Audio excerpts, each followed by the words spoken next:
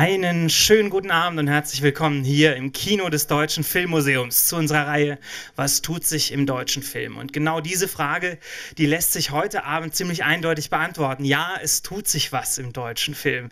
Denn wir zeigen Ihnen heute einige sehr spezielle Genrefilme, allen voran Der Nachtmar. Und wir freuen uns sehr, dass der Regisseur Akis auch hier heute ist. Dafür schon mal einen Applaus. Toll, dass du da bist.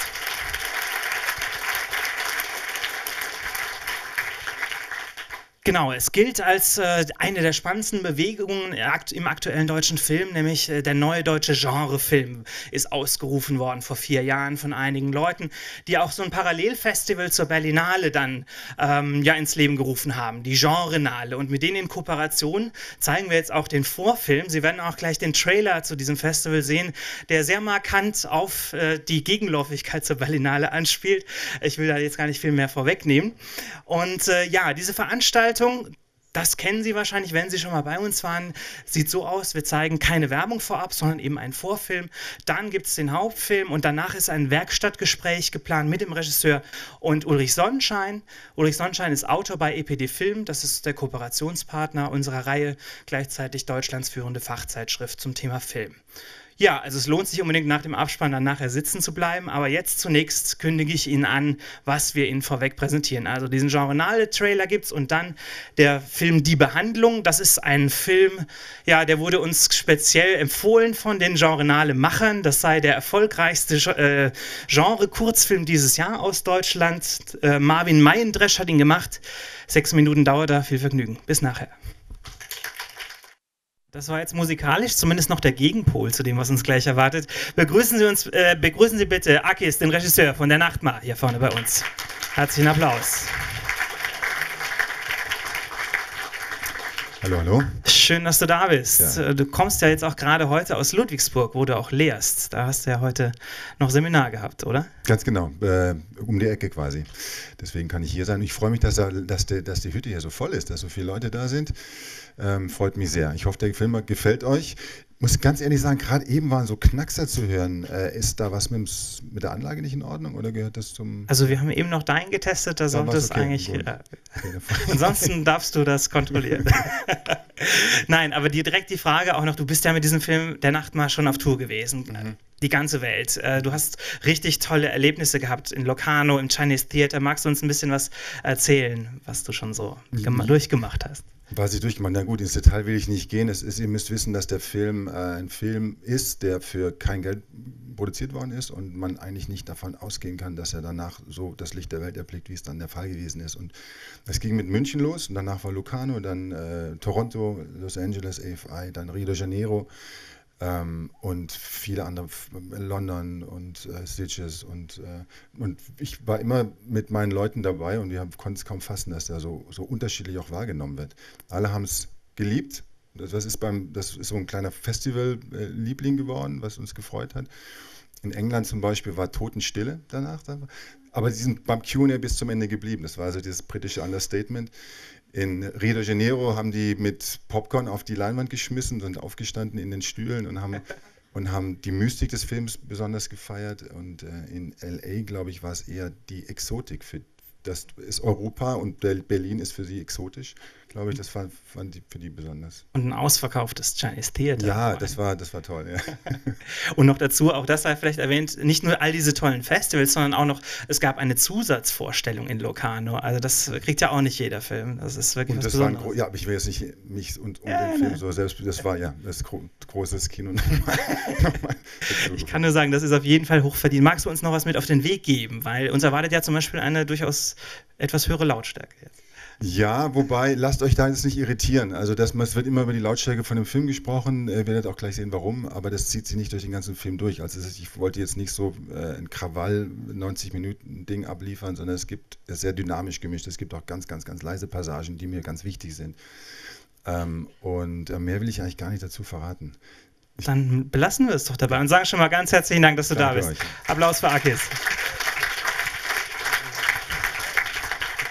Ja, und Ihnen wünsche ich jetzt viel Vergnügen mit der Nachtmar und wie gesagt, bleiben Sie danach sitzen, dann erfahren Sie noch mehr über die Entstehungsgeschichte dieses Films.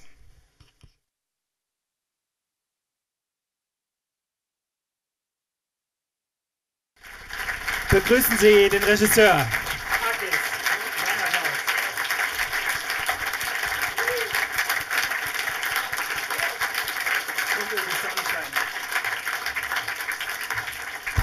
Und Ulrich Sonnenschein, der das Gespräch führen wird. Schönen guten Abend auch von mir. Ich hoffe, der Film hat Ihnen so gut gefallen wie uns. Fangen wir gleich mal an mit dem Hauptdarsteller, dem Superstar dieses Films, einem kleinen Wesen zwischen Greis und Embryo. Wo kam diese Figur her? Ist die irgendwann dir im Albtraum erschienen? Äh, nee, sie nicht. Äh, ich muss dir auch widersprechen, der, der, Hauptdarsteller ist eine Hauptdarstellerin. Also ich finde, man redet immer gerne über das Monster, würde mir vielleicht auch so gehen und Techno und äh, harte Schnitte und Berlin. Aber man, ich finde, man mag den Film, wenn man ihn mag, dann mag man ihn wegen der Karo. Aber du sprichst von dem Monster, wie es dazu kam. Das ist eine, es ist eine, ähm, äh, eine Puppe. Ich bin Bildhauer und Maler und habe angefangen 2001 ein Mischwesen, ich hatte die, die Idee einer, eines, eines, eines Zwischen, Zwischenform, eines, eines Mischwesens zwischen einem ganz, ganz alten Menschen und einem ganz, ganz jungen Menschen, also eine Mischung aus dem Kreis und dem Embryo. Und das war wirklich nur als Statue, als, als Skulptur geplant. Habe ich auch gemacht als, als Betonabguss. Das hat sich über die Jahre hin entwickelt.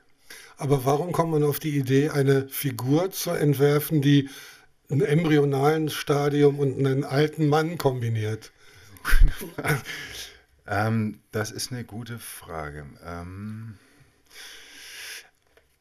ich weiß nicht, wie das andere Künstler oder Filmemacher oder Geschichtenerzähler machen. Bei mir ist es so, ich bin die ganze Zeit von früh bis spät, ich, wenn ich nichts zu zeichnen habe, dann sagt, knödel ich irgendwelche Servietten äh, oder ich bin ständig dabei, meine Finger zu bewegen und es entstehen Zeichnungen und ich denke nicht wirklich groß drüber nach, was ich da mache. Das ist wahrscheinlich vergleichbar kennt ihr heutzutage nicht mehr. Früher, ich bin in den 17, 18 groß geworden, da gab es noch Telefon mit Kabeln und dann gab es dann auch ein Telefonbuch.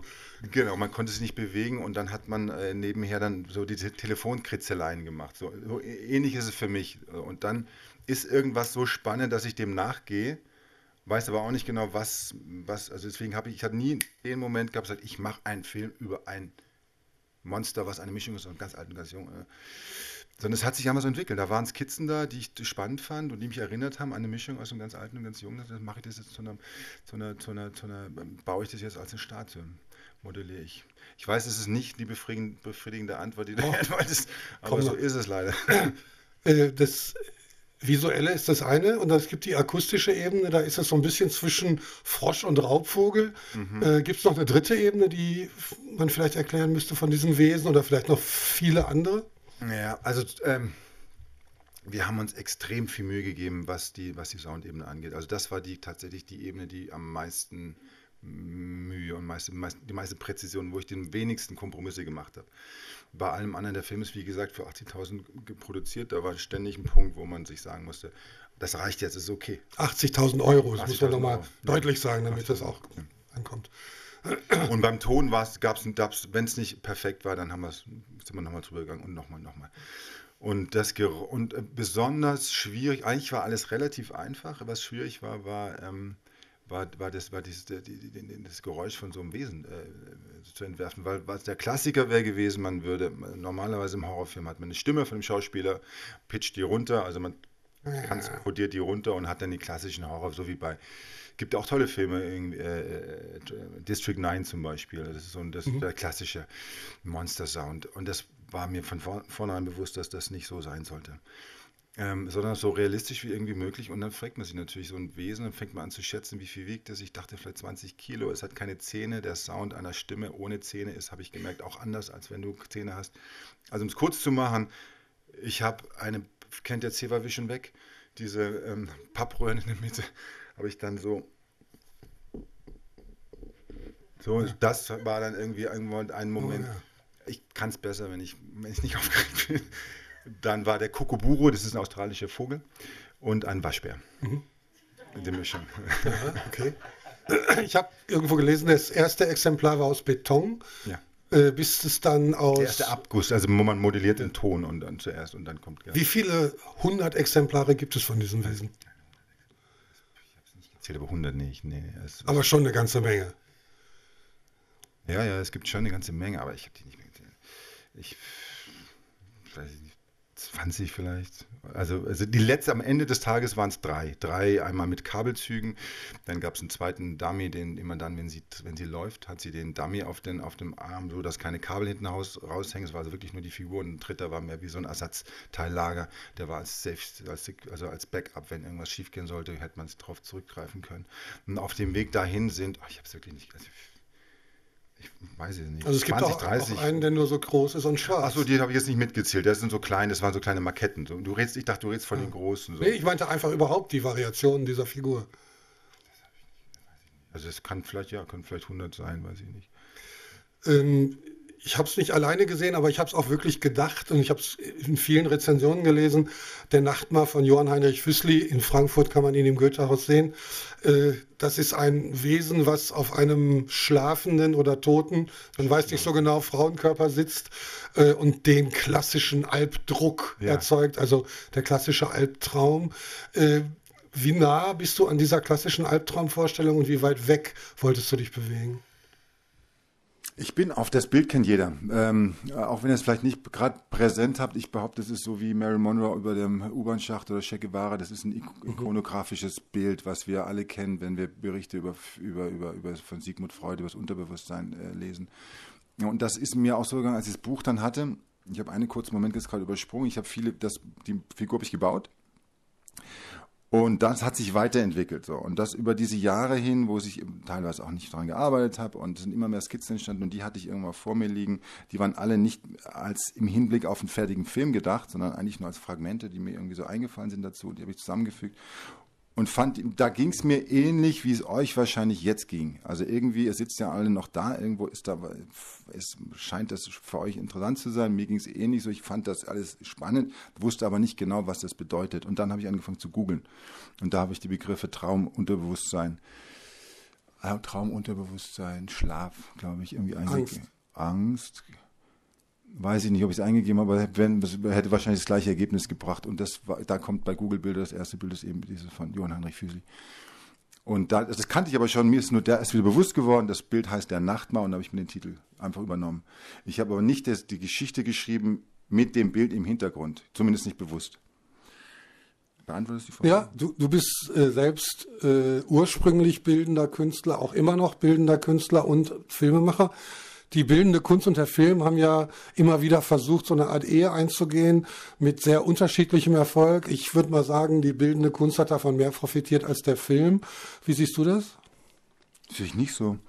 Also, ähm, wir haben jetzt gerade eben über Kubrick lang geredet. Ich weiß nicht, wo ich 2001 ein. Ich kenne diese Trennung. Ich weiß, in Deutschland ist das Unterhaltung ist Film und Kunst ist Kunst. Und Kunst sollte nicht unterhaltsam sein, sondern sollte sperrig und streng sein. Und Unterhaltung sollte nicht künstlerisch sein. Und wer es wagt, das zu verschränken, der fragt nach Problemen so ein bisschen. Und ich finde aber mein größtes Vorbild, ihr werdet es bestimmt auch gemerkt haben, in dem Film ist David Lynch. Kubrick, Gaspar Noé zum Beispiel. Und das sind meiner Meinung nach, ich kann nicht einordnen, ob das Kunst ist und Unterhaltung. Das ist, das löst sich da auf für mich. Und ich, ähm, was war denn, du hast gesagt, das ist meistens zu, ich hab, zu Lasten vom Film? Nein, nicht zu Lasten, sondern ich glaube, die bildende Kunst hat davon mehr profitiert, von dieser Ehe zwischen, zwischen bildender Kunst und Film. Aber und Film ist ja eine Kunstform wie, wie jede andere, wie, wie, wie, wie, wie, Literatur, Musik und, und Tanz und, und, und das ist, ich weiß nicht, warum das dieses Bastardwesen, äh, dieses Bastard-Dasein soll. Das mhm. gilt ja als Trash oder als billig oder wird es auch ja. gern. Na, ist doch so ja. oft, ne? Also um das noch zu untermauern, würde ich, wenn du sagst, deine Vorbilder, Kubrick, ja. David Lynch, würde ich sagen, visuell äh, auch äh, Steven Spielberg mit E.T. Äh, stil inhaltlich ja, stilistisch wohl eher nicht, glaube ich. Zumindest in den Krankenhausszenen.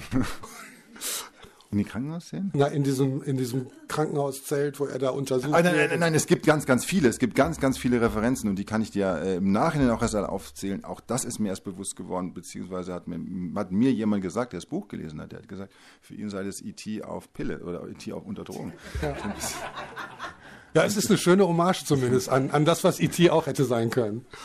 Und ich habe E.T. als äh, 8, 9, 10-Jähriger gesehen, als erster großer Film auf der Leinwand oder zweiter, der erste war äh, Yellow Submarine, da war ich ganz klein, war extrem irritiert und der zweite war dann äh, E.T. Und der hat mich tatsächlich nachhaltig beeinflusst. Äh, und da, also vor allen Dingen, also, äh, eigentlich der Moment dieser Seelenverwandtschaft oder wie er es auch aus der Quantenphysik, wenn man kennt, verschränkte Teilchen, die ähm, getrennt werden. Ähm, oh, also da, da gibt es, ich weiß nicht, wer E.T. jetzt gerade präsent ist, es gibt im Moment E.T. ist zu Hause im, am Kühlschrank und trinkt ein Bier und E.T. ist in der Schule und wird besoffen zur gleichen Zeit. Und das hat mich als Kind, das jetzt mal als Zehnjähriger davor und denkt sich, mich hat das umgehauen, mich hat es sehr, sehr lange beschäftigt. Aber ich habe auch das wieder, nicht den Film im Hinblick auf das geschrieben, aber es hat sich, ist da eingeflossen. Und viele Szenen, zum Beispiel auch David Lynch, ist mir auch erst als der Film fertig war, als er gemischt war, aufgefallen, dass ich eins zu eins die Szene geklaut habe von ähm, ähm, äh, Mulholland Drive, wo die zwei Security-Beamten nach Hause kommen äh, und, und, und gucken, was da los ist. Das, das ist eigentlich eins zu eins die gleiche Szene. Das ist, ich glaube, wir Künstler sind nicht so göttlich, dass wir alles aus dem Himmel nehmen. Wir nehmen es tatsächlich aus dem echten Leben, aus dem, was wir äh, äh sehen und auch aus anderen Filmen sehen. Und mal, mir war es oft nicht bewusst, was ich da, wo ich mich be bedient habe. Der große Unterschied zwischen dir und Steven Spielberg ist, dass Spielberg einfach hingehen konnte und sagen, sehr viel ich, ich möchte diese Figur gerne so und so bewegt haben. Du musstest diesen Mechanismus selber herstellen. Was hast du da gemacht, um Bewegung in die Figur zu kriegen? Also auch Technisch mimische Bewegung. Oh, techn äh, ähm, technisch. Ja, ja. technisch. Ähm, ich hatte keine Ahnung, wie das geht. Ich bin, würde es auch nie wieder machen. Das ist, ein, ist, das ist eigentlich eine Kunst für sich. Ähm, modellieren fällt mir sehr, sehr einfach. Die Figur habe ich tatsächlich, ob man es glaubt oder nicht, in drei, also ich habe immer wieder von vorne anfangen müssen. Am Ende waren es zwei Tage, als ich die Figur fertig modelliert habe in Ton. Aber das Abgießen und die Feinmechanik, die ich zum Beispiel auch nicht selber gemacht habe, da haben mir Leute geholfen.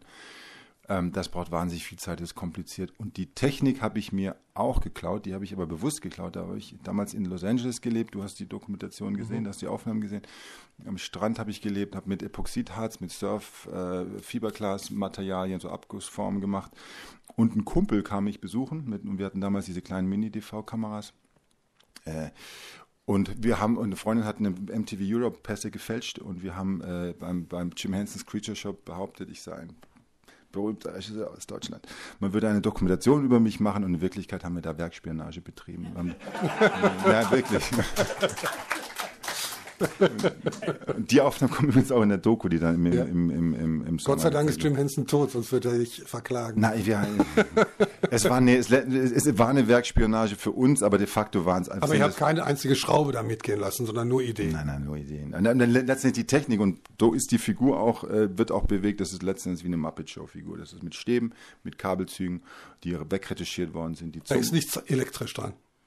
Nein, elektrisch ist gar nichts dran. Es ist alles, also ich habe eine Lunge reingebaut, einen eine, eine, eine Ballon, weil mir das, mich das immer gestört hat bei äh, all den Kreaturen, die man so kennt, dass sie tot sind. Ich hatte immer das Gefühl, da fehlt was. Man, ich spüre es, ich weiß nicht, ob ihr es, ich behaupte, dass man es eigentlich nicht wirklich sieht, dass das so leicht atmet und leichter Impuls drin ist.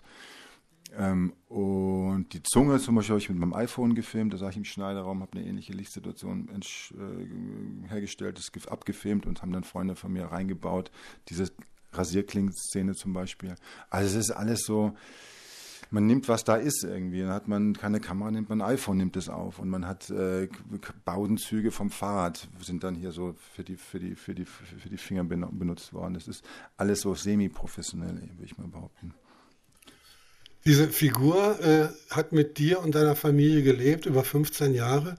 Äh, verschwindet dann der Grusel oder gruselt es einen immer noch, auch nach äh, Jahr und Tag? Nein, ja, eigentlich war da nie ein Grusel da. Also ich habe, ich habe, ich habe, äh, äh, meine kleine Tochter hat mir damals sogar so die ersten, wirklich der allererste war aus Plastilin, da hat die mir mitgeholfen. Die, was heißt mitgeholfen? Die hat dann immer gefüttert mit Knetbatzen so und und ich habe so wieder, also das war, das war nie ein Grusel da. Was mir aufgefallen ist, auch was ich, wie gesagt, ich habe in Amerika damals gelebt, dann am Strand, also weil wir ganz kleine Strandhäuschen hatten, äh, draußen äh, gearbeitet und die Amerikaner so, so, so und Kalifornier so charmant und offen sie sind, kommen dann her und finden das alles spannend. In dem Moment, wo sie aber die, die Eier gesehen haben, sind die zurückgezuckt und fanden das widerlich, widerlich pervers und krank. Aber für mich war das, man fängt dann oben an und geht dann weiter und irgendwann mal ist man unten und hat dann die Geschlechtsteile modelliert, ohne dass es irgendwie eklig oder die, die Haut wollte ich, dass die eklig ist. Und die hat so dieses, da habe ich lange überlegt, ob ich, ob ich, ob ich ähm, Fell machen sollte, was ich auch mir gefallen hätte, aber das wäre dann wirklich zu niedlich geworden. Da habe ich dann, meiner Meinung nach. 15 Jahre äh, ist eine lange Zeit. Der Amerikaner will sagen, what took you so long? Wieso hat das so lange gedauert? Man muss es ein bisschen zusammenstauchen. Also es sind nicht 15 Jahre, es sind jetzt 15 Jahre, aber der Film ist ja gedreht worden 2013. Also es sind schon mal nur 13 Jahre. Und dann sind es von der ersten Modell bis zum Drehbuch waren es neun Jahre, auch deswegen, weil ich andere Projekte gemacht habe und mich nicht jahrelang, teilweise war das nur in der Kiste, ähm, aber ich habe mich um andere Dinge kümmern müssen und ähm, dann war es dann doch relativ lang zwischen 2009, 2009, und 2013. Das war einfach, weil ich, weil ich versucht habe, das zu finanzieren, das Ding. Und das hat einfach irgendwann mal hat mich so frustriert und so eine Wut auch in mir äh, losgelöst, dass ich dann immer gesagt habe, jetzt machen wir es in jedem Fall, egal wie. Und wir, es kamen damals die Canon, äh, die, die, die EOS 5D Mark II raus und das war eigentlich im Prinzip das mit der wir es dann de facto dann doch nicht gedreht hatten, weil wir zwei Wochen vorher dann das, eine Chance hatten, eine, eine, die Sony F550 zu bekommen. Aber das war eigentlich so der, der Punkt, wo, wo ich gemerkt habe, wir, wir, können, wir machen das jetzt. Wir, ich kann nicht, wenn ich jetzt das, ich kriege kein Geld, das habe ich schriftlich von allen Instanzen bekommen, dass es äh, keinen Sinn macht, dass sich niemand dafür interessiert. Und wenn ich das dann fallen gelassen hätte, wäre all wär alles umsonst gewesen. Deswegen, das war eigentlich so der Startpunkt. Und de facto dran gearbeitet waren das jetzt nicht 13 Jahre. Es gab, glaube ich, 45 Drehtage. Nein, das waren, das waren, das waren 21. Wie 21. Ich bin schlecht mit Zahlen. Mhm. Äh, wichtig ist aber, wichtig ist aber, dass äh, du bis zu dem Beginn des Drehs quasi das letzte Hemd verkauft hast, um überhaupt Geld zusammenzukriegen und sogar deine Wohnung aufgegeben hast und in einen LKW gezogen bist. Also ist das äh, tatsächlich die Grenze dessen, die man erreichen kann, wenn man schöpferisch tätig sein will? Ja, wobei ich das. Mh, hm, ähm, ob das die Grenze ist. Also ich war tatsächlich an dem Punkt, da wurde mir, ich habe dann, äh, die, die, Familie hat dann auch nicht mehr bei mir gelebt, die sind dann aus Südtirol in die Berge gezogen, ich konnte nicht Hartz IV beantragen. Ich weiß nicht, ob das wirklich interessant ist, so, aber ich habe ich hab dann im LKW gelebt, irgendwann mal nachts im Görlitzer Park stand es dann im Winter und es ist ohne Strom und Heizung war. Es ist nicht so schlimm, wie es klingt, so irgendwie. Na, irgendwann hat ja auch mal jemand die Reifen zerstochen. So, und das also. war der Punkt, genau. Das war der Punkt, wo ich dann davor stand, kam nachts um zwei nach Hause zu meinem LKW. Das war so ein Militärtruck aus den 60er Jahren. Ähm, und der stand wie so ein havarierender Wal, stand der so schief irgendwie so. Und das war ein furchtbarer Anblick. Und dachte, ich habe, das alles, was ich habe, ist nur noch das. Wenn das jetzt, und es ist nichts mehr geblieben. Und wie weit muss es jetzt noch gehen im Prinzip? Und dann bin ich, äh, die Nacht war ich im Prinzip wach, konnte auch nicht schlafen, weil ich immer so runtergerollt bin. Und, und am nächsten Morgen bin ich dann zu ähm, Dussmann gegangen, das ist eine Buchhandlung, und habe mir äh, Musashi, Hagakure, Sun Tzu, Machiavelli, Clausewitz tagelang wirklich nur noch wie Matrix alles reingezogen, wie man strategisch an eine Sache rangeht und das und nur noch alles hat jetzt alles auf einen Punkt, jetzt wirklich alles nur noch auf diesem es gibt keinen Weg mehr zurück. Alles was ich und die Strategie der alten der alten der alten der alten Strategen ist, dass man sich zuerst mal anguckt, was man hat, bevor man in den Krieg zieht oder was immer, bevor man ein Ziel angeht und das habe ich ich habe die Figur ich habe mein Talent als Filmemacher, ich habe meinen Freundeskreis, ich habe keine Angebote mehr gehabt als Regisseur und dann, gesagt, dann nehme ich das und jetzt setzen wir alles auf eine Karte. Und das war eigentlich so die, der, der Moment, wo ich, ähm, ja, den es vielleicht auch gebraucht hat, wahrscheinlich. Irgendwie. Also eigentlich gehört Clausewitze auch in den Abspann.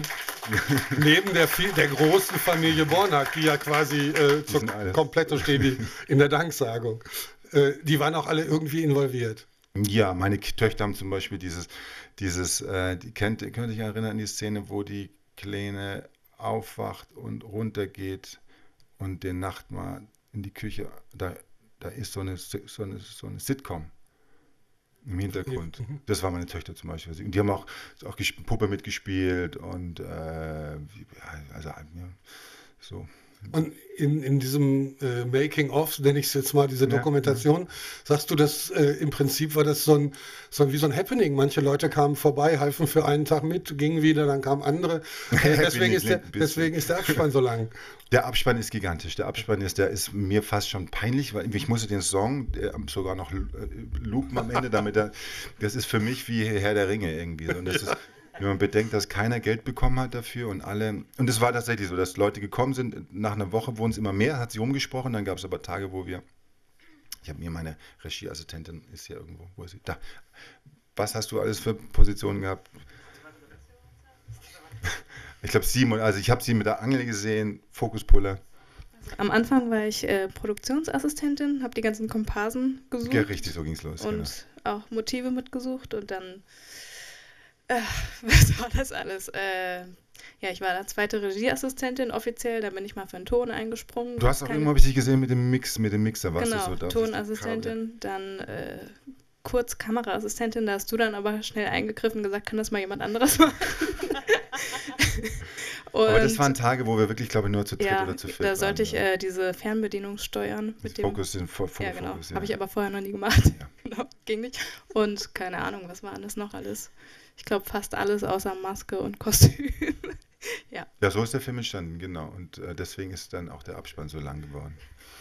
Äh, Und wie kam es zu Wilson Gonzales Ochsenknecht? Wilson González Ochsenknecht ist ein, äh, ist, ist, äh, spaltet wirklich. Und ich äh, verstehe viele Leute. Ich habe ihn, ich kenne ihn, ich kenne ihn aus dem Nachtleben und ich mag ihn wirklich gerne. Er ist ein wirklich, wirklich guter Kerl. Er ist, hat eine andere, ist anders, als man vermutet, wie er in seiner öffentlichen Wahrnehmung ist. Und ich hatte, ähm, ähm, das war, ja, das war eben auch, das war einfach ein, ein Freundeskreis von Leuten, die, die da mitgemacht haben und äh, das hätte, hat da einfach, hat einfach gepasst. Also du hast ihn sozusagen gecastet oder war er sowieso immer in der Gegend und Der war im Kam mal Prinzip- vorbei. Kam mal vorbei, genau. Hat sich die Haare lila gefärbt und hat gepasst. ähm, dieser, dieser Nachtmar, der ist ja äh, nicht nur eine konkrete Figur, hier bei dir eben sehr konkret, er bleibt auch eine symbolische Figur. Also er bleibt ein Symbol für Angst, für das Unbewusste, für die Seite, die man an sich selbst nicht kennt oder nicht mag. Und er steht im Film ja auch für einen Moment der sexuellen Erweckung. Also äh, und der und Moment der Regression. Also sie kommt quasi in ihr Elternschlafzimmer und sagt, kann ich bei euch schlafen? Was ja für eine 17-Jährige doch eigentlich eher untypisch ist, hat aber auf der anderen Seite diese ersten Momente von Sexualität. Also diese sexuelle Komponente ist da auch drin. Das sehe ich, das hat mir jetzt vor kurzem ein ähm, Mädchen hat es ja auch so, die hat das auch so interpretiert. Ich sehe es nicht so. Ich finde es aber richtig und wichtig, dass die Möglichkeit besteht, dass man das so interpretiert. Wir hatten vorhin darüber gesprochen, die, ähm, mir war es ganz, ganz, ganz, ganz wichtig, dass es, dass es dass der Film einem die Möglichkeit gibt, es selber seine eigene Assoziation und, und, und, und, und, und, und, und äh, Interpretation davon ähm, dass es offen bleibt, weil die Filme, die, wenn wir jetzt gerade über, über, über 2001 reden oder, oder, oder die, die, die, die, die, die David Lynch-Filme, die funktionieren so. Ähm, ich habe sogar bewusst Sachen rausgenommen. Also eine Geschichte war, als meine Agentin das Buch zum ersten Mal gelesen hat, hat sie gesagt, Junge, du tust hier immer so, als ob das hier alles ein Rätsel sein soll und es ist doch offensichtlich, worum's, wofür dieses Monster steht. Das symbolisiert Bulimie. Und dann habe ich das nicht verstanden. Und sie meint, ja, es ist doch klar, es, die lebt in dieser Welt, sie ist ganz, sie ist gärtenschlank, das Wesen ist dick und fristig von früh bis spät, sie füttert es mit Junkfood. Ähm, und es gab sogar eine Szene, diese Szene, wo die Mädels auf dem Klo sind und koksen, war eigentlich mal im Buch geschrieben als eine Szene, die gleiche Dialog, gleiche Handlung, gleiche Inhalt, gleiche Auseinandersetzung, aber in einem Einkaufszentrum, wo sie essen und dann ganz, ganz selbstverständlich hinterher nebensächlich, so wie sie ganz nebensächlich das Koks reinzieht, kotzen sie. Und das habe ich rausgenommen, weil ich eben nicht wollte, dass man das so, dass man, dass man, also ich wollte keinen Film über Bulimie machen. Und das andere war äh, Interpretation, äh, dass das äh, ähm, ungewollte Schwangerschaft ist äh, oder eine Abtreibung, was natürlich auch funktioniert, weil du es von Anfang an, es geht eigentlich um das erste Bild, ist ja ein Embryo im Prinzip. Ähm, und so gibt es verschiedene Interpretationsmöglichkeiten und das war mir wirklich wichtig. Und das war aber gleichzeitig das Problem in der Finanzierung, weil die Leute mich, Produzenten, gefragt haben, was soll das? Also, wo, wo, wo fahren die am Ende hin und wo kommt das her und was ist der Grund für das Ganze und wofür steht das? Und ich ähm, habe das von David Lynch gelernt, der auch in Interviews gesagt hat, er weigert sich, seine Interpretation preiszugeben, weil damit würde das die offizielle richtige sein und alle anderen wären falsch und man würde damit alles kaputt machen.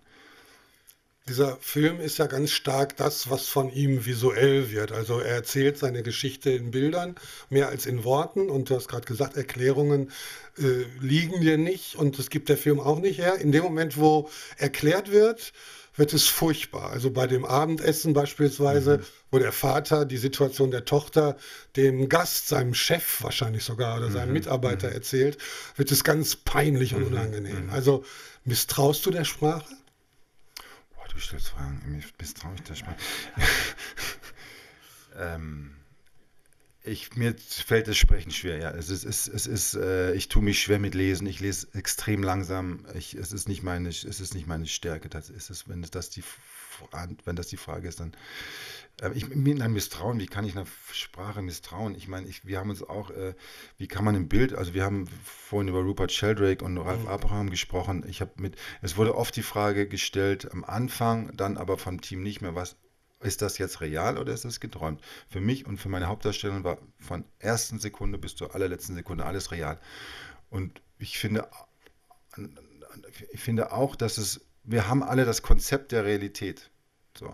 Aber dadurch allein die Tatsache, dass diese Augenbewegung, die du gerade darüber gemacht hast, hat eine Bruchteil der Sekunde gebraucht, bis sie meine Augen getroffen hat. Und wieder bis es die Trans Neurotransmitter an mein Bewusstsein geleitet haben. Noch, insofern sieht niemand von uns kann Realität wahrnehmen. Wir sehen immer das Echo der Realität. Insofern macht es, allein deswegen schon ist es, finde ich, Allein deswegen und dann auch die Tatsache, dass wir es immer nur aus einem Blickwinkel sehen können. Und das gibt so, also es ist schwer über Realität zu sprechen und deswegen auch die Bilder traut man den, traut, traut man der Sprache, traut man den Bildern, traut man den Geräuschen. Wenn wir in den Himmel gucken, wir sehen Sterne, die leuchten, die schon lange nicht mehr existieren, weil es Millionen Jahre braucht, bis das Licht zu uns kommt. Ich, ähm, ich weiß nicht mehr, ob ich jetzt gerade in der Antwort verliere, aber ich, ich, ich würde der Sprache nicht unbedingt mehr misstrauen, als ich den Bildern misstraue. Macht es Sinn? Ja. Also dieser, dieser Film ist ja in einer, in einer herrlichen Art und Weise auch altmodisch. Also man hätte diesen Nachtmeier auch Computer generieren können. Ich bilde mir ein, ich sehe den Unterschied. Ich weiß ja, nicht, ob das auch. so ist.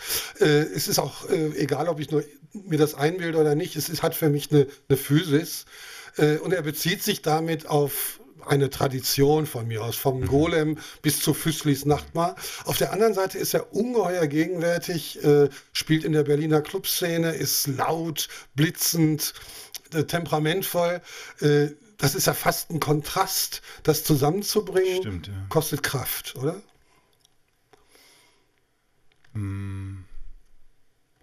Nee, eigentlich nicht. Äh, ähm, ich habe, also mein, meine, meine, also wie jeder, ich weiß nicht, ob jetzt hier Filmemacher, Künstler oder Geschichtenerzähler unter euch sind, aber jeder, der einen Beruf ernst nimmt, so geht es zumindest mir, behaupte ich, geht dem Weg und guckt, wer vor einem da war. Und da geht man natürlich zurück und guckt sich, welche Geschichten erzählt. Und das Spannendste, fast schon Heilige ist, wenn man sind die Märchen, Mythen und Sagen, weil die nicht mehr geschrieben worden sind von einzelnen Künstlern, die ein Konzept oder eine Idee hatten, oder von der Firma, die ein Marketingkonzept hatte, sondern es ist von der Menschheit geschrieben worden. Und dadurch ist es irgendwas ur, ur, ur, urmenschlich, also was, was, was, was, was, was mehr ist als nur ein Mensch. So, und, und, und, und das ist eigentlich zu allen Zeiten adaptiert worden auf die jeweilige, also auch, auch der Nachtmahl, der damals physisch 1780 war das, glaube ich, wann er das gemalt, irgendwie in der, im Zeitraum herum, ein bisschen, nee, später, 1810, glaube ich, war es irgendwie. Da, da, da war das auch schon, gab es das auch schon vorher? Ich habe gerade erfahren vorgestern, dass Romeo und Julia auch nicht äh, Shakespeare erfunden hat, sondern dass es eine, Sa eine, eine, griechische Sage ist, die ich ähm, mir aufgeschrieben habe, die zwei. Ähm, die je, also jeder, viele Geschichtenerzähler nehmen alte, archetypische Strukturen und erzählen sie in der heutigen Zeit, von der ich authentisch erzählen kann. Und das braucht nicht wirklich Kraft. Das ist einfach, das ist eigentlich relativ leicht, weil das ist alles da. Die Clubs sind da, die, die Leute sind da. Es wäre schwierig gewesen, das in die alte Zeit damals zu transponieren. Dann hätte ich alles herstellen müssen. Ja, man hätte natürlich sich auch fernhalten können von all dem, was Szene ist. Also du mischst quasi Berlin Calling mit E.T., mit dem Nachtmar von Füßli und dem Golem. Mhm. Ja, ja gut, aber es ist mehr, also für mich ist Für mich ist es eigentlich wirklich mehr, dass ich wundere mich tatsächlich, dass man so, so, so viel über das, über dieses Techno-Element oder dieses Clubbing-Element spricht. Das ist eigentlich mehr das Hintergrundrauschen von dir. Das ist eigentlich diese Welt, in der sie sich bewegt, aber es ist nicht wirklich Thema des Films. Es ist eigentlich so wie die Tapete für mich im Hintergrund. Natürlich drängt sie die Musik so in den Vordergrund, weil sie uns in die Wahrnehmung äh, Zustand bringt, den die Protagonistin ist. Aber ansonsten hat es eigentlich nicht wirklich in irgendeiner Form eine Relevanz, meiner Meinung nach. Also ich habe in dem Interview mit Caroline Gensko erfahren, dass ihr im Oktober gedreht habt. Ja. Diese Schwimmbadszenen im Oktober ja. stelle ich mir nicht angenehm vor. Das heißt, das war dir ungeheuer wichtig, diese Szene zu haben. Sonst hättest du bis zum nächsten Sommer gewartet oder hättest das Ganze in der Turnhalle spielen lassen. Das stimmt. Gut, also äh, das kenne ich aus meiner eigenen Kindheit, über den Zaun klettern, in ein öffentliches Schwimmbad gehen, da feiern. Wir haben es nie so laut und nie so große Stroboskopeffekte gehabt wie, wie, wie, wie, wie in dem Film. Aber ähm, da habe ich aus eigener, aus eigener Biografie, habe ich da, hab ich da äh, äh, mich bedient. Ähm, ich fand auch, mir ist wichtig, und das sehe ich selten im deutschen Film, dafür kriegt man auch Ohrfeigen von vielen Seiten, dass eine Sexiness in dem Film drin ist, eine physisch, eine Physik, eine, eine, eine physische, eine, also dass er hat, dass er, dass, dass, dass er körperlich ist. So. Was auch in der Urinierszene zum Beispiel deutlich wird.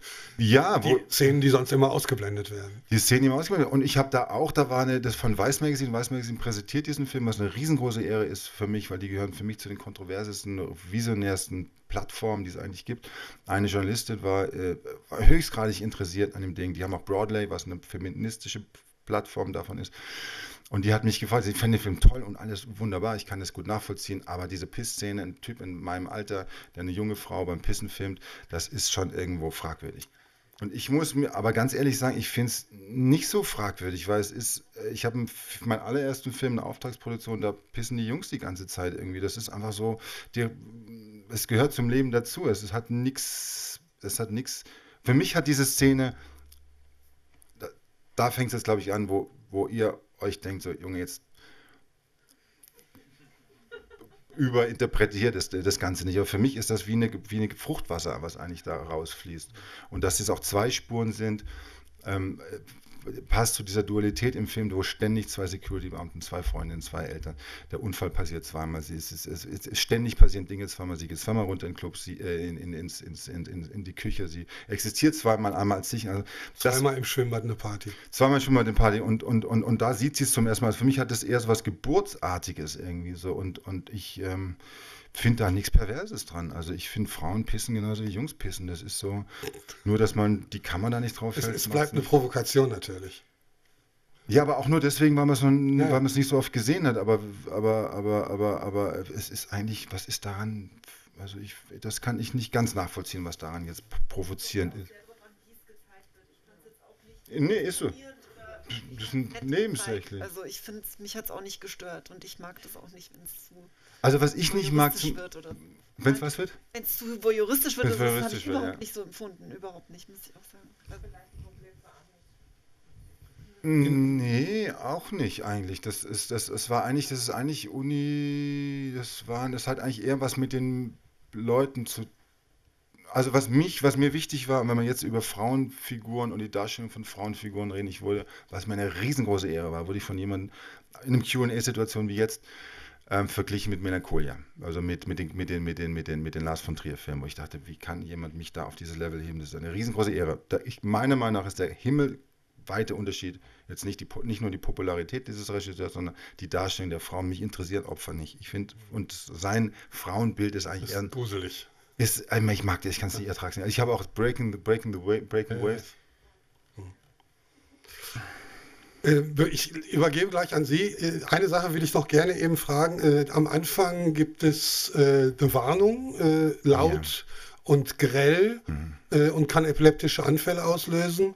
Ich weiß, dass du eine eigene Krankheitsgeschichte hast. Ist die auch ästhetisch im Film eingeflossen, diese Erfahrung von epileptischen ja, Anfällen? Wobei ästhetisch weniger. Ich war Epileptiker, bis ich äh, 2021 war. Dann hatte ich eine Nahtoderfahrung von 45 Sekunden. Und das, glaube ich, ist.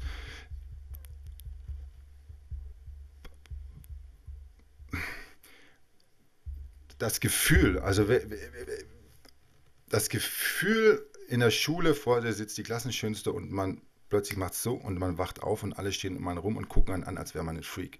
So das Gefühl, man denkt sich, es ist doch alles, ich bin doch noch der gleiche. Und warum, was ist jetzt plötzlich anders? Das ist eingeflossen in den Film. Und dieser Eintritt in diesen, Orbit, wo man wieder aufwacht und, und, und, und, und, und, und, und sich wieder synchronisiert mit dem, was, was hier ist, das ist eingeflossen. Und, und, und vor allen Dingen, was ich auch noch als Kind das erste Mal sich bewusst wahrgenommen habe, war, das dachte ich, meine, ich habe Ich habe mich von oben liegen gesehen und meine Eltern haben sich über mich gebeugt. Ich konnte mein Gesicht nicht mehr erkennen und es hat gerauscht in meinen Ohren wie Sprudelwasser. Und ich weiß noch, dass ich aufgewacht und meine Eltern gefragt habe, ob sie mir was zu trinken gegeben haben. Und ich weiß noch, der Blick meiner Mutter, die nicht damit wusste, was ich meine, aber ich kann dieses, kenne dieses Geräusch noch. Das ist, klingt wie, wie wenn man Sprudelwasser an die Ohren hält. Und das ist auch, taucht hier drin auch auf. So. Das Stroboskop-Ding, ich habe nie auf Stroboskop angesprochen. Ich war in der Klinik, wurde untersucht, dann kriegt man diese, diese Flashes, äh, um das zu induzieren und einen Test zu machen. Das hat bei mir nicht angeschlagen und bei äh, manche Epileptiker schlagen drauf an, manche nicht. Und das ist aber eine ernstzunehmende, faire Warnung. Irgendwie so. Letzte Frage, ich habe gelesen, das soll der erste Teil einer Trilogie sein. Wie geht's weiter? Dann kommt der zweite und der dritte. Ah, gut, wunderbar. Vielen Dank. Ihre Fragen bitte. Genau. Haben Sie Fragen, dann geben Sie ein Zeichen und ich komme zu Ihnen. Äh, ja, zunächst mal, ähm, mir hat der Film sehr, sehr gut gefallen. Ähm, Gerade auch deswegen, weil ich oft gedacht habe, okay, ich weiß jetzt, was da kommt oder bitte lass nicht das und das passieren und ich wurde jedes Mal wieder überrascht und der Film hat Wendungen genommen, die ich zu keinem Zeitpunkt erwartet habe, was ich bei einem Film jedes Mal sehr, sehr gut finde. Ähm, ist weniger eine Frage, also mir ist aufgefallen, dass bei der Hauptdarstellerin auf dem Nachttisch äh, eine IT-Figur e steht. War das Drei mit Absicht? Ja. ja, ja, das, also wie, ihr habt jetzt auf einmal erzählt, wie der Film entstanden ist. Jeder hat mitgebracht, was er noch hatte. Das waren äh, äh, Figuren, die bei mir rumgeflogen sind vom äh, äh, und äh, nachdem ich das Buch gelesen habe, habe ich ja gesagt, äh, haben Leute das mit IT verglichen und dann war mir das auch bewusst. Und, ähm, und das ist eigentlich mehr so, ein, mehr so eine kleine Seitennote oder so. Also es ist, was ich gesagt habe, diese, diese Seelenverwandtschaft ist da. Ich sehe auch diese Augen, dieses Kindchenschema ist auch bei IT, dieser Nacken, diese dünnen Finger.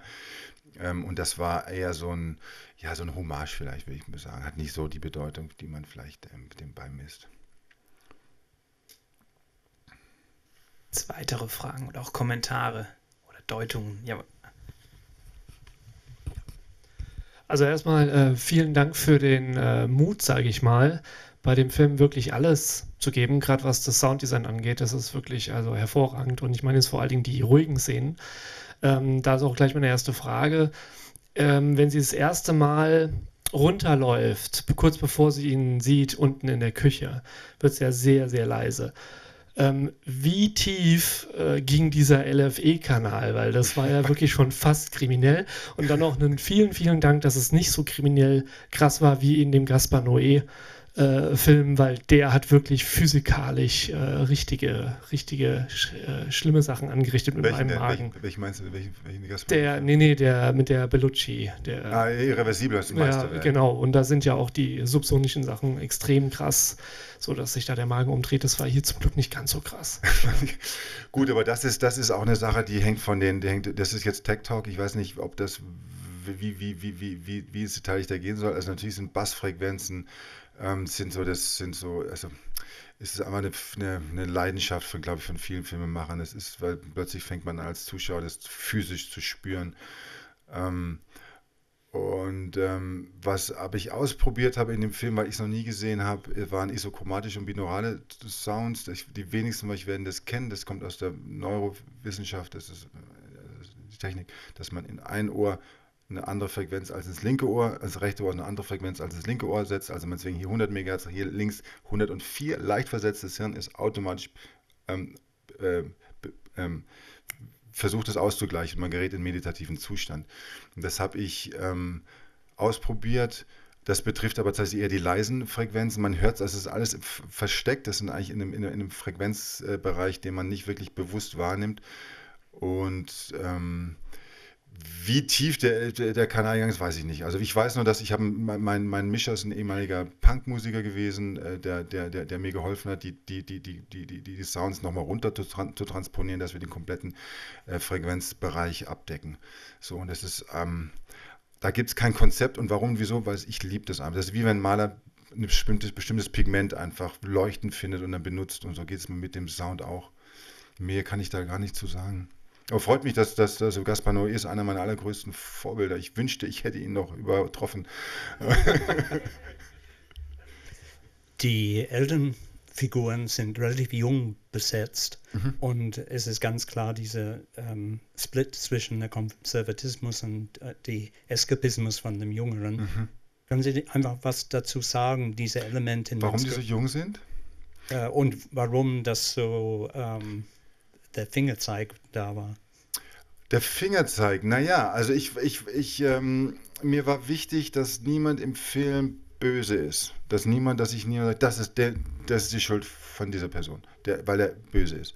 Sondern ich sehe eigentlich das Drama und den Konflikt daran eher, dass sie hilflos sind, dass sie nicht wissen, dass sie denken, dass sie, dass sie, dass sie, dass sie das, was sie machen, richtig ist. Aber es ist nicht das Richtige. Also ich würde meine Tochter, wenn die sowas hätte, würde sie erst erstmal in den Arm nehmen und erstmal zuhören, was sie sagt, und nicht sagen, ja, das regeln wir. Also ich habe zum Beispiel, wir haben mich mit den Schauspielern darüber unterhalten, was sie mit den beiden Eltern, was sie für einen Beruf haben. Und ich habe ihnen gesagt, sie sind äh, Neurolink, äh, NLP-Coaches, äh, die, die, die, die, die, die, die, den, die, den, die den Mensch einfach auf einer sehr nüchternen und präzisen Art versuchen, in den Griff zu kriegen. Und aus dieser Warte heraus ist es auch verständlich. Die denken, dass sie was Gutes tun. Sie denken, wir haben es auch proaktiv genannt. Sie sagen, wir tun so, als was ganz Normales und sie macht das auch wirklich toll und wir gehen auch ganz offen damit um. Aber dadurch extrem unsensibel sind und dann eigentlich ihr mit was, was das genau das Falsche tun. Aber ich wollte keinen Fingerzeig machen. Ich wollte nicht sagen, dass Eltern böse sind oder dass ähm, diese Art von Eltern schlecht sind oder so. Ich, ich, ich habe auch das Gefühl, dass es nicht nur die Eltern sind. Das ist einfach ihre eigene. Sie leidet eigentlich eher daran, dass sie denkt, dass sie nicht perfekt ist. Nicht mal unbedingt ihren Eltern gegenüber, sondern vielleicht auch der, den Klassenkameraden gegenüber. Und auch der Psychologe ist ja nicht wirklich böse. Er sagt ja, er ist aber auch nicht wirklich derjenige, der ihr helfen kann. Na? Ja, ähm, ich wollte fragen, ob äh, das Gedicht eine bestimmte Rolle ja, spielte. Das tut es. William Blake ist mein aller. Also wir haben es von Kubrick, wir haben es von David Lynch, Gaspar Noé, von Füsli, aber ganz oben ist also unerreicht für mich William Blake. Und ich habe ähm, gerade vorhin erzählt, ich habe die bei einem Festival in London, als der Film lief, war ich zum ersten Mal, konnte ich die Originale in der Tate Gallery sehen und meine Tochter war dabei und hat dann irgendwann mal, ich bin eigentlich, habe mich im Griff so, aber in der Sekunde meinte sie zu mir, Papa, heul nicht so rum, das ist peinlich. ähm, ich weiß nicht warum, mir, mir ist da einfach der erste, sämtliche Dämme gebrochen. William Blake ist ein, für mich ein Meister. Ähm, der, die Lyric, äh, der, der, der Text taucht nicht nur, auch der taucht zweimal auf. Ähm, ich weiß nicht, ob ihr es bemerkt habt. Der ähm, Song, den, den habe ich auch selber produziert. Ähm, den, ähm, der, der Wilson Gonzalez mit den liedernden Haaren am, am Pool performt. Das sind die gleichen Lyrics, die in so einem Punk-Noise ähm, wiedergegeben werden. Ich habe das schleppt das Buch rum, das sind seine gesammelten Werke und äh, ist so umfangreich, auch weil ich der englischen Sprache nicht so mächtig bin. Und ich habe gesagt, wie lange ich brauche, Sachen zu lesen, bin ich nur, bis jetzt noch nicht durch und bleibe lange hängen an, an Absätzen. Und ich habe äh, nicht bewusst gesucht nach einem Gedicht. Ich habe das eigentlich Buch aufgeschlagen und das eigentlich, es klingt kitschig, aber es wirkt das erste, hat gepasst. Birth of a Shadow passt ja auch irgendwo. Ähm, die Geschichte dazu, zu dieser Szene ist, dass sich Kim Gordon, ich weiß nicht, manche kennen sie, viele kennen sie, manche kennen sie nicht. Es ist eine Ikone ähm, aus der Noise Grunge Punk Ära der 90er mit Kurt Cobain und äh, Nirvana zusammen viel. Sie Frontfrau von Sonic Youth, habe ich äh, kennengelernt äh, drei, vier, fünf Wochen vor Drehbeginn und wir haben uns, äh, ich fand sie toll und ähm, äh, wir wurden vorgestellt und wir wollten mit, miteinander arbeiten und ich hatte zu dem Zeitpunkt den Film eigentlich schon besetzt. Zu, vor allen Dingen waren es ja Teenager, es gab keine Rolle für sie und die Eltern mussten Deutsch sein. Es hat keinen Sinn gemacht, mit der englischsprachigen Lehr äh, äh, Mutter zu arbeiten. Ich wollte sie auf keinen Fall synchronisieren. Es gab aber noch einen Biolehrer. Und den habe ich dann, der noch nicht besetzt war, den ich dann ganz schnell zu einer Englischlehrerin umgetauft habe und dann William Blake unterbringen konnte. Ähm, ja, äh, super Knaller. Erstmal vielen Dank für, für den Film. Was mich extrem interessiert, du hast einen ganz tollen Cast gehabt. Also die Girls fand ich sehr, sehr echt. Äh, wie lange hast du danach gesucht? Sind das echte Schauspieler gewesen? Wie war die Arbeit mit den äh, jungen Darstellern? Ähm, äh, Caro, äh, vor allem, die, das mal das, der strahlende Stern für mich ist in dem Film, ist äh, mir ganz unspektakulär beim Casting vorgestellt worden. Und ich habe äh, zu dem Zeitpunkt ähm, festgestellt, dass es heutzutage ich, ähm, extrem viele gute Schauspieler und Schauspielerinnen gibt in dem Alter. Das war früher noch anders, finde ich. Ich glaube, das liegt daran, dass sie gelernt haben, über dieses verwerfliche Selfie und YouTube und so weiter, sich trotz, irgendwie trotzdem irgendwie gelernt haben, sich zu öffnen und dann spielerischen Umgang mit, äh, mit der eigenen Darstellung ähm, zu haben, was die Amis schon oder die, die äh, Franzosen schon längst eigentlich äh, praktizieren. Aber es gab keine, die, keine Schauspielerin, die so echt und authentisch mit einer Gummipuppe spielen konnte. Das ist für einen Zuschauer, Zuschauer nicht so wirklich einleuchtend vielleicht, aber wer die Technik des Schauspielens kennt, weiß, dass die Amis sagen, Acting ist Reacting. Ähm, man reagiert eigentlich nur als Schauspieler auf das, was vom Partner kommt und der Partner reagiert auf das von seinem Partner kommt.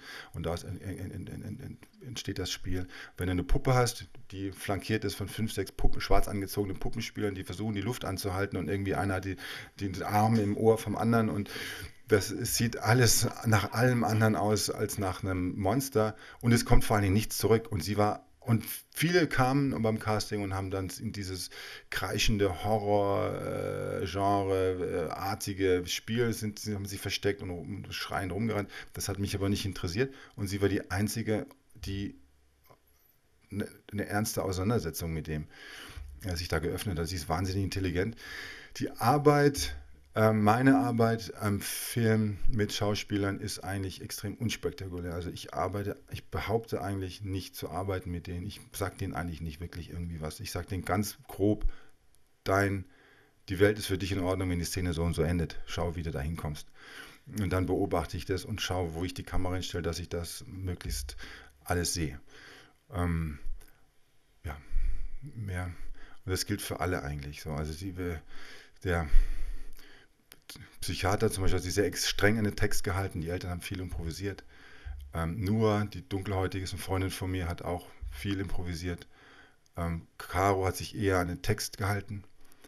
Ähm, ja, mehr kann ich dazu gar nicht sagen. Ich weiß nicht, ob das die Frage so ein bisschen beantwortet. Ja. Es ist gar nicht äh, eine Frage, ich wollte nur ein paar Gedanken loswerden. Also äh, ich fand es auch sehr schön, dass die Figuren äh, nicht so schwarz-weiß sind, sondern alle verständlich und alle auch äh, sympathisch. Und man versteht es ja auch. Also ich habe auch äh, Kinder und ich kenne das auch, dass man dann eben genau weiß, das ist jetzt verkehrt, aber man dreht einfach innerlich durch, dass ja mit dem Kind ja. nicht alles in Ordnung ist. Und ich kann das durchaus nachvollziehen. Also und, und, will dann nur alles wieder gut haben oder so. Also ich kann so alle Züge so ein bisschen nachvollziehen, finde ich. Also ich finde die sehr sehr gelungen und oh, ohne dass einer der böse ist. Ich habe auch eine Zeit lang immer gedacht, ich warte jetzt, ähm, äh, dass jetzt, ob jetzt noch was kommt, so ein Problem, das sie überwinden muss und für das eben dieses Wesen steht. Mhm, und es kam immer nicht. Mhm. Und ich fand es aber schön, weil ich finde, ja, ja, dass, ich auch.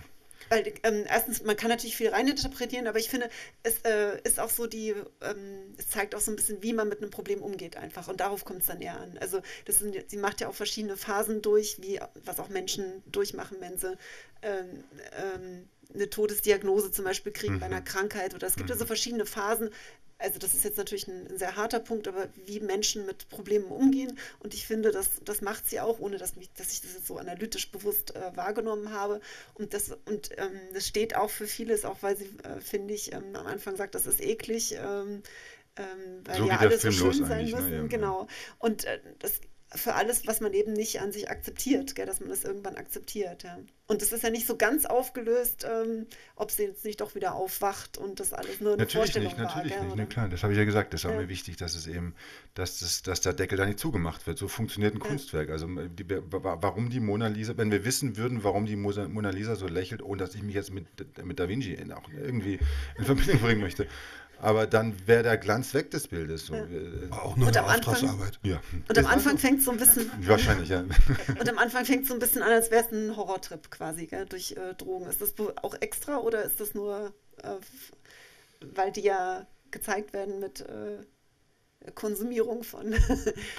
naja, es ist all das sind alles so Angebote, wie man sich das erklären kann. Es ist, ja. es ist nicht mehr, nicht weniger als diese, was ich gesagt habe mit Bulimie. Also das ist eine ja. Möglichkeit, drogeninduzierte Psychose kann man gern so sehen, wäre für mich wahrscheinlich die langweiligste Erklärung für das Ganze. Zum Beginn sozusagen. Ja, kann man Beginn, das erstmal so annehmen und dann entwickelt sich ja auch anders. Und äh, ja, ich wollte nur wegen dem, äh, wegen dem, wegen der Figur ist mir noch aufgefallen. Also ich finde ja auch, dass wenn Menschen älter werden, dann wird man ja auch wieder ein bisschen runder und so nimmt wieder so impionale Züge an. Oder also ich finde das gar nicht so verkehrt. Ich kann das sehr gut nachvollziehen mit dem. Runter mit dem nein, also ich meine, also vom Rücken, von der von der Anatomie ja, ja. wird man ja wieder so ein bisschen äh, naja, vor allem die Neugeborene sehen aus wie, wie, wie, wie, wie, wie ganz alte. Vielleicht, ja. äh, es ist wirklich, ich weiß nicht, wer Kinder hat, also ganz frisch geborene Kinder sind ganz faltig ja, genau. und äh, so süß sie auch sind, aber so sehr erinnern sie an ganz alte Menschen. Und, weil sie und, den Speck noch nicht haben. Weil sie den Speck noch nicht haben und, und, und alte, ganz alte Menschen werden auch wieder wie Kinder. So. Ja, genau. Und das war für mich eigentlich eher so die, der Gedanke, wenn das Leben ein Kreis ist, wie, wie, wie, wie, wie, wie, wie was ist dann an der Nahtstelle, wenn du alt und jung verbindest? Und es hat sowas, wenn es ein Alien ist, hat sowas, kriegt so eine weise Komponente. Hm. Ja. Ja, mir war wichtig, dass es nichts auch, auch wie auch das, auch das Monster nichts Opferhaftes hat, sondern auch, wie ich finde, auch wie es im Auto fährt, hat es eine gewisse Lässigkeit. So. Ja. ja, das ist das große Mysterium, kommt im zweiten Das ist eine wichtige Frage. jo, ich muss das vorneweg schicken. Ich habe vor ein paar Tagen einen Artikel gelesen über, diesen, über die Entstehung des mhm. Films. Und der sprach mir so aus der Seele, dass ich innerlich gedacht habe, oh Herr, lass diesen Film einfach gut sein. Und ich muss sagen, nachdem ich es gesehen habe, das ist verdammt nochmal das Beste, was ich an deutschem Film seit langer, langer Zeit gesehen habe. Und ich bin total happy.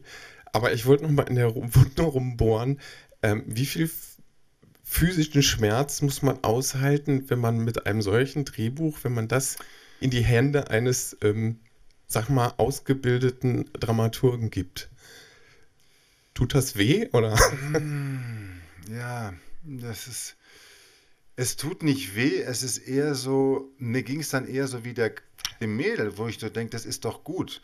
Das ist doch, wie könnt ihr sagen, das ist schlecht? Das lebe ich in einem anderen parallelen Universum. Seht ihr denn nicht das, was ich sehe? Das ist doch, und ähm, ähm, es ist, das, ich möchte es auch nicht so glorifizieren oder so. Ich meine, als Künstler hat man niemals, man hat nicht, man hat nicht einen Deal eingegangen wie ein, wie ein Mietvertrag, wo man, wo einem das zusteht irgendwie. Es ist nicht so, dass ich mir als Künstler, dass mir Geld zusteht. So, ich finde, in dem Moment, wo man anfängt als Künstler zu sagen, das steht mir zu, es gibt eine Förderung, ihr seid ihr seid Idioten, das nicht verstehen, ist es, und deswegen mache ich den Film nicht, dann ist man auch, dann, dann, dann muss man, glaube ich, auch nicht wirklich anfangen. Also ich habe nie, wollte nie rumjammern, ich wollte mir auch nicht, du hast mich gefragt, worüber wir nicht reden sollten, dann habe ich gesagt, ich bitte nicht über, über Produzenten oder Namen, weil ich will nicht zu denen gehören, die über die Filmbranche schimpfen und über die Idioten, die es alles nicht verstehen. Ich habe meine Erklärung, warum die Dinge sind, wie sie sind, aber das ist auch nur meine Erklärung warum Filme in Deutschland so sind, wie sie sind. Und ich finde, es liegt letztendlich an jedem Künstler selber, an jedem Regisseur, einen Film so zu machen. Deswegen physischer Schmerz, das ist letzten Endes, da kam viel zusammen. Also das war, das war, und ich meine, das war die, es ist letzten Endes die eigene Dummheit. Ich meine, es gibt äh, Filmemacher, David Lynch zum Beispiel, lebt bestimmt, ich war nicht bei ihm, hat, äh, aber, aber, aber äh, ich weiß, dass er in einem großen, tollen Haus lebt. Und er macht sehr sperrige Arbeiten.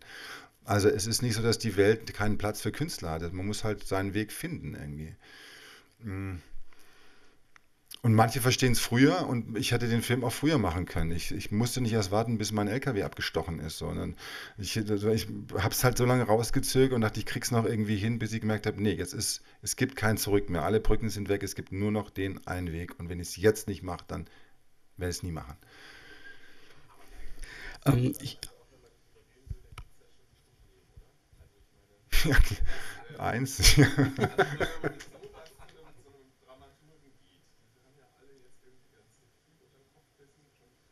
Der finde ich auch hier funktioniert, meiner Meinung nach. Ich habe das nie verstanden. Christopher Vogler, Joseph Campbell, die ganzen Choreografien.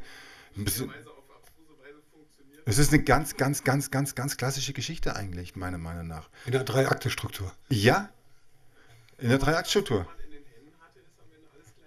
Hm?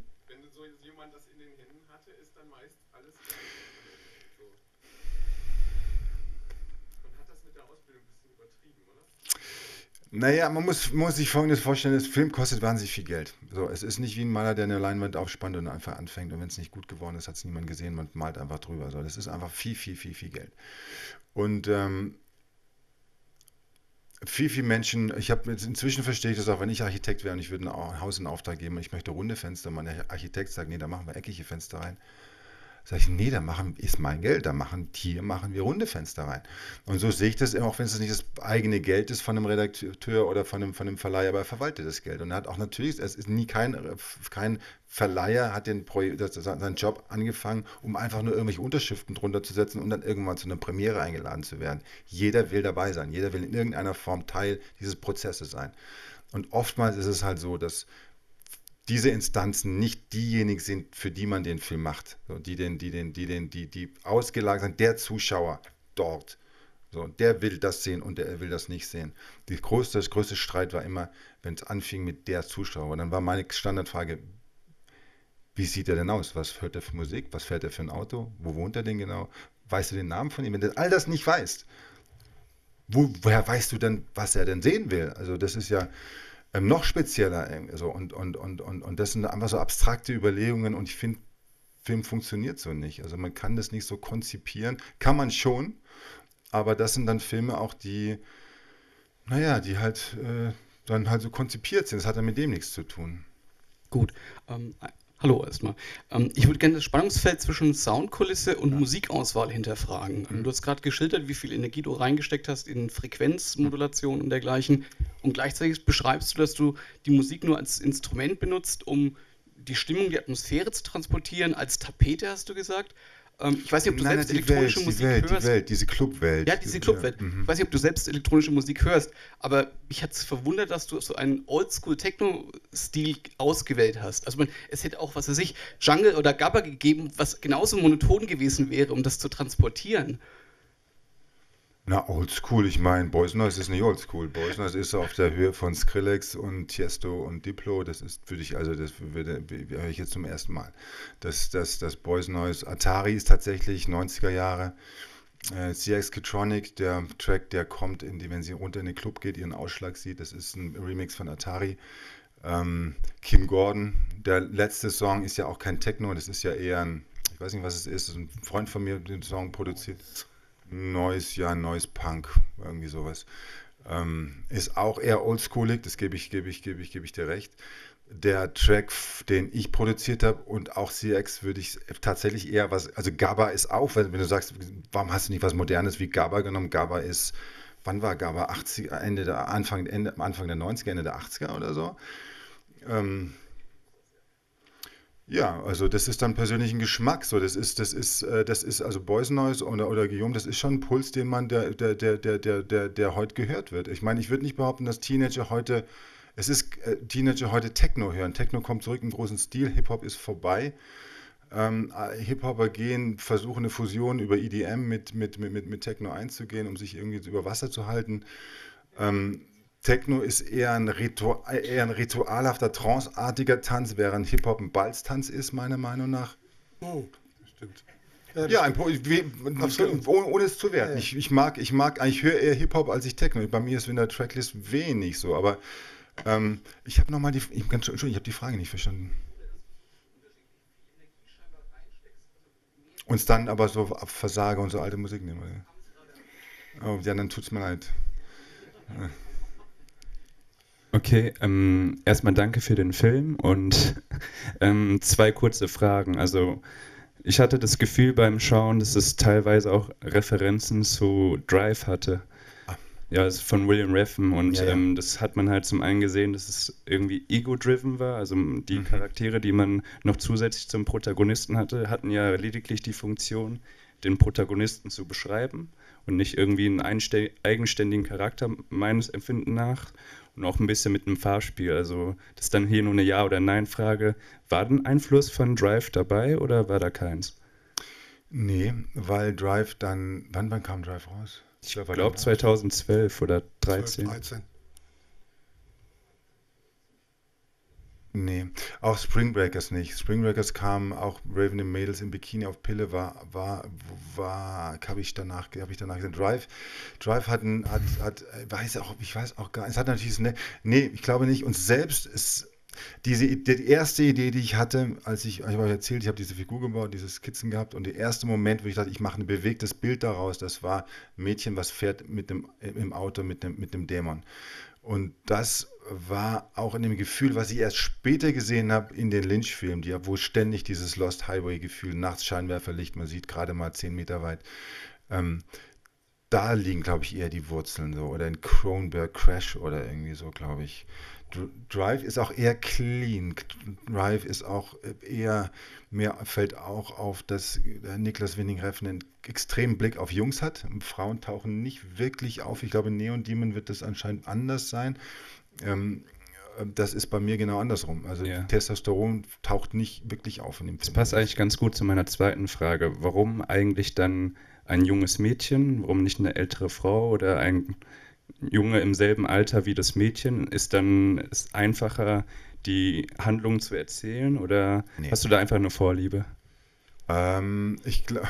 Also es ist jetzt nicht irgendwie beleidigend. Nee, nee, nee, nee habe ich auch nicht so verstanden. Nee, also ich glaube tatsächlich, dass der Film, das Gefühl des Films, ich finde, die Ka das Mädchen Tina Karogensko, die Schauspielerin, fasst es am besten zusammen, den ganzen Film und die Quintessenz dieses Films in dem Gespräch mit der Englischlehrerin, wo sie gefragt wird, wie sie, was sie das, wie sie, wie, die, wie sie das interpretiert. Und sie sagt, es ist vielleicht ein Gefühl, was, was keinen Namen hat.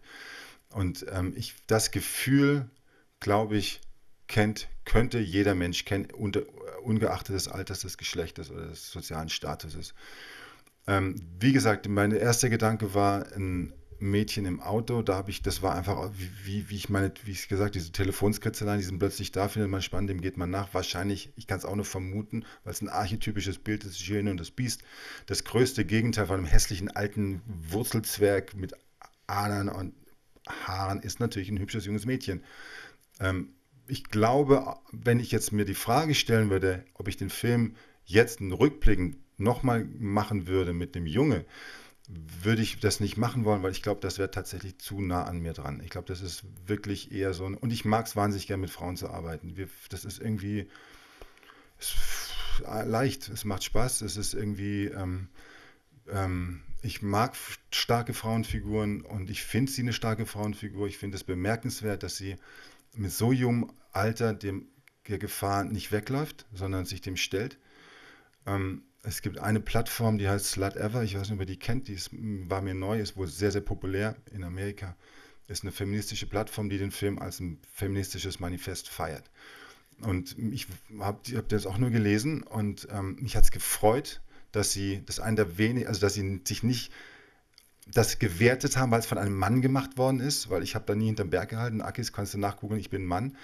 Ähm, und da hätte man das leicht als einen männlichen Blick auf Frauen, der kann ja nichts werden, sondern die haben gesagt, das ist eine Frau, die sich dem Problem stellt und nicht wegrennt. Und in diesem Genre kennst du eigentlich nur Frauen, die kreischen bis zum Ende wegrennen, es werden immer weniger. Und am Ende haut sie mit dem Staubsauger oder irgendwas das Ding tot, mehr oder weniger aus Versehen und der Film ist zu Ende.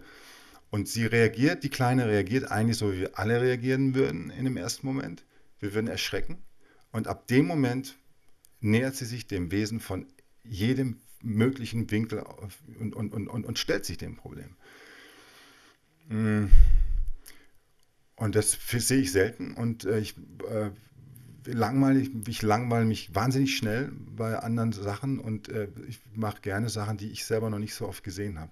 Ohne mich jetzt als Fahnenträger des Feminismus zu betrachten. Ich trage niemand seine Fahne, das muss jeder selber tragen. Ich gehe meinen eigenen Weg, aber ich, mich interessiert es einfach, weil ich es nicht so oft gesehen habe. Ich weiß nicht, ob das die Frage beantwortet, aber ich glaube, das ist die Erklärung dafür. Ähm, auch vielen Dank für den Film. Ähm, erstmal noch auch danke, dass du so offen darüber erzählst, dass du unter diesen Bedingungen diesen Film über so viele Jahre mit so viel Biss durchgezogen hast. Also das gibt einem das Gefühl, dass man alles schaffen kann. Ja, und ich kann es nicht aberwarten, bis also bis, danke dafür. Andere, es ist ja. nicht so schwer, wie es klingt. Das ja. muss man einfach nur machen. Ja, also vielen Dank nochmal dafür. Und ähm, also auch so eine zweigeteilte Frage. Stand es schon fest, dass du äh, Boys Noise und Alec Empire für den Soundtrack so intensiv mit mehreren Liedern einbaust? Und ähm, die zweite Frage gleich ähm, darauf sind das, ähm, du hast ja erzählt, dass du viele Drehbuchänderungen kurzfristig gemacht hast, noch kurz davor. Hast du auch teilweise improvisiert bei den Dreharbeiten oder Improvisation zugelassen, weil zum Beispiel ähm, der Wilson Gonzalez hatte, glaube ich, einen Beinbruch oder so ein Gips ja. am Anfang und solche Sachen. Meine ähm, Treppe runtergeflogen ist eine Woche vor also es war dann gezwungene Improvisation, ja, okay, alles klar. Hat aber dann auch gepasst, weil er, weil er, weil es irgendwas Morbides hatte eben. Also die erste Frage war nochmal? Ob ja, okay. Also Alec ist ein Freund von mir, ähm, Atari Teenage Roy, der Kopf von Atari Teenage Roy, den ich super fand. Der sollte zuerst den Score machen, hat auch den Score des Trailers gemacht, des Teasers. Ähm, dann ist seine Platte rausgekommen und er konnte den Film nicht mehr machen. Ähm, dann, äh, aber das, der, dieser, dieser, dieser, dieses, der Soundeindruck, den finde ich schon ziemlich gut. Für mich ist das Iggy Pop auf elektronisch, auf Deutsch irgendwie so ein bisschen. Ähm, und Boys Noise kannte ich nicht. Ich ähm, bin, weiß ich, wie ich darauf gestoßen bin, weiß ich nicht. Es war ein Freund von ich bin rangekommen über Wilson, der wiederum mit, mit, mit Alex Rüder, der Boysners ist, bekannt ist. Und ich weiß, dass, ich kann mich daran erinnern, hat er was geklingt? Glas. Glas. Ähm, dass das Management gesagt hat, nee, die, die, die, Tracks, die gehen gerade, der kriegt für einen Abend 50.000 Euro, das, die können jetzt nicht aber die Tracks so umsonst geben. Und dann hat Alex, also Boysners selber gesagt, nee, nee, ich, ich will, dass mein Zeug da drin ist in dem Film. Und das hat eine, was, eine, war, eine, für mich hat es gepasst. Er mochte diesen Track, den ich verwendet habe, nicht so. Es sind zwei Tracks, den ersten mochte er gar nicht. So, er sagt, das ist ein altes Ding, nimm noch was anderes. Ich fand aber dieses primitive, stupide Four on the Floor irgendwie, fand ich passend irgendwie. Die zweite Frage war nochmal was? Improvisation. Hatte ich eigentlich schon darauf geantwortet. Es gibt ein paar Schauspieler, die das improvisiert haben und andere, die sich sklavisch an den Text gehalten haben. Bevor wir jetzt noch weitere Wiederholungen kriegen, breche ich, an dieser Stelle brutal ab. Nein, ich der noch Film eine könnte, lass mich, lass mich bitte, der Film könnte ja morgen aus den Kinos verschwinden. In Frankfurt läuft er heute noch im Mal sehen. Er ist am Freitag aber in einem Techno-Ambiente zu sehen und zwar in der Fabrik Kulturwerk Frankfurt, 22 Uhr am Freitag. Und wenn Sie es nochmal sehen wollen, da oder wenn Sie Bekannte haben, die da hingeschickt werden wollen, auch gerne. Und jetzt kannst du deine Frage stellen. Genau, Urs. die wichtigste noch am Schluss, weil die Reihe heißt ja, was tut sich im deutschen Film. Mhm. Und dieser Film wirkt so universell für mich, mhm. finde ich. Also das ist nicht nur ein deutscher Film, das ist ein europäischer, ein amerikanischer, das ist irgendwie alles dabei, finde ich. Wie schaust du auf den deutschen Film? Beobachtest du das? Ähm, wie würdest du das einschätzen? Verortest du dich da oder woanders? Ja, ich, ich habe das, also ich, ich habe das, ich bin neulich mit, mehr, mit mehreren Journalisten stelle mir die gleiche Frage. Vor allen Dingen werde ich auch gern mit in Genres in, in Verbindung gebracht. Ich habe nicht das Gefühl, ich kenne mich mit Genres überhaupt nicht aus, muss ich leider gestehen. Ich habe auch nicht das Gefühl, dass ich mich einem Genre, dass im Film einem Genre untergeordnet werden muss oder kann. Es ist kein Horrorfilm, auch kein klassisches Coming-of-Age-Drama. Ähm, ich sehe aber tatsächlich, dass, dass ich bin mir, aber ich bin, glaube ich, der Falsche, der die Frage beantworten kann, weil ich habe wirklich nur einen subjektiven Eindruck. Ich gucke mich um 360 Grad, sehe ich Künstler, Leute, die äh, äh, Filme machen und, und, und, und Sachen entstehen, wo ich das Gefühl habe, es ist wie eine, wie eine es, mir, mir kommt es vor wie New Hollywood damals, diese Zeit, in den 60er Jahren, Easy Rider oder, oder, oder Dennis Hopper oder, oder, oder Scorsese, im Kleinen, aber wenn ich mir überlege, wo wir angefangen haben, und das darf jetzt nicht als Disrespekt verstanden werden, möchte ich euch wirklich bitten. Aber als ich angefangen habe, da, damals galt Sönke Wortmann und Deadlift Book als die neue, die Avantgarde im Prinzip. Und daran kann man, glaube ich, sehen, wo wir standen und wo wir, wo wir, was heute da ist. Also Wild ist, war, war, Victoria war, war, war, war, war, war ein toller Film. Von Bunker habe ich gehört. Es gibt viele, viele, viele Filmemacher, die sich losgelöst haben von diesem klassischen, ich darf entweder eine Komödie machen oder ein Sozialdrama machen. Wenn ich ein Sozialdrama mache, dann darf ich mich entscheiden, entweder Vergangenheitsbewältigung, Ost-West oder Nazi-Zeit äh, oder aber heutzutage dann Migrationshintergrund oder Nazis äh, im, im, im, wo auch immer. Und das ist, das ist meiner Meinung nach, das ist, ich, ich, wenn ich nachts träume, äh, wie mich hat es immer gewundert, wenn ich nachts morgens aufwache, habe ich mehr erlebt, als ich im als ich erlebe, wenn ich 7 Euro ausgebe für, für, für, für, für andere deutsche Filme, ohne die zu disrespektieren. Ich finde es eine Leistung, wie jeder das schafft, einen Film auf die Leinwand zu bringen, ist, ist, ist, ist, ist eine Leistung. Aber ich wünschte mir, und ich habe auch wirklich das Gefühl, da ist, es, es tut sie wirklich was im deutschen Film. Ja, dann, das ist doch das perfekte Schlusswort. Wir sagen ganz herzlichen ja, ne? Dank für ja. diesen großartigen Film und diese tollen Eindrücke. Danke dir, Herr Fußball.